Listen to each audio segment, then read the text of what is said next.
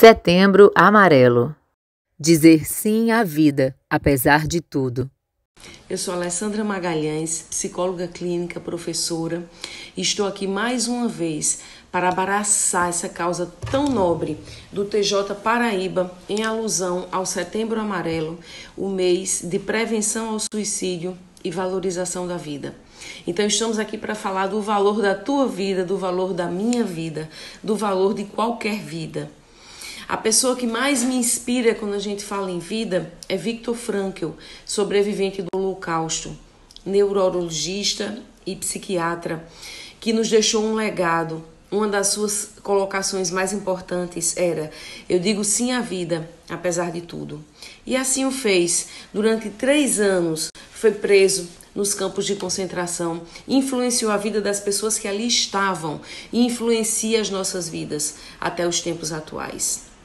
Com ele, aprendemos valores como esperança, resiliência, superação, fé. Uma frase que me marcou também muito é que ele fez uma estatística.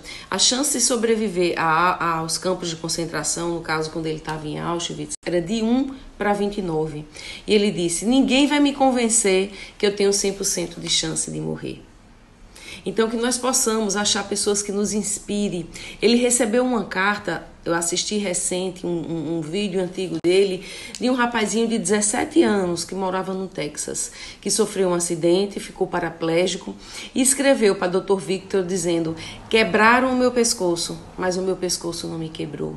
A partir disso, ele foi estudar psicologia, o rapaz foi ajudar pessoas a partir da sua própria dor e teve a honra de dividir o palco com o Dr. Frankel numa palestra anos depois, na, falando justamente sobre o sentido da vida, o sentido da vida das pessoas que não desistem, o sentido da vida das pessoas que insistem, o sentido da vida das pessoas que acreditam.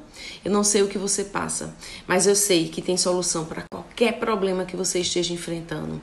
Se tiver muito difícil, peça ajuda, exercite a sua humildade. Exercite a sagrada, o sagrado direito de dar a mão a alguém que esteja ao seu lado e de receber amparo na sua hora de dor. Essa é a minha mensagem, que vocês encontrem sentido. Sentido não tem a ver com valor, sentido tem a ver com aquilo que eu quero deixar como legado, aquilo que eu quero que as pessoas lembrem de mim, que esteja escrito na minha biografia. Sentido é o que me conduz além, para que eu possa ser cada vez mais humana, demasiado humana. Que você possa ajudar pessoas e ser ajudada. Afinal, esse é o real sentido humano: darmos as mãos, nos apegarmos aos outros, porque juntos somos mais fortes e juntos vamos ajudar uns aos outros a superarmos os nossos momentos mais difíceis.